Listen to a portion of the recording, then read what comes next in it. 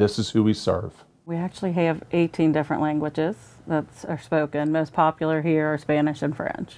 We have English, French, Spanish, and I believe Swahili. We serve all kinds of students, whether it be language barriers, uh, religious issues, um, social economic issues. This is who we serve.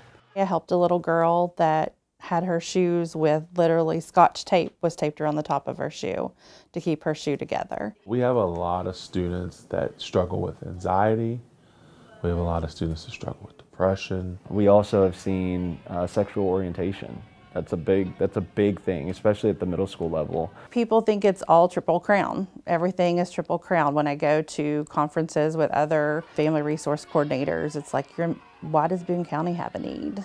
They don't understand, they don't see. A lot of families live paycheck to paycheck, and at any time they could lose a job, be sick for two weeks, and miss not be able to pay rent. That's the reason why a lot of families choose to go to hotels. Everything's all encompassed in that one bill. It's an eye opener for sure to be able to see that firsthand and understand why some of these kids don't care about getting detentions or don't care about getting Saturday school is because that time away from home may actually be the sanctuary for them.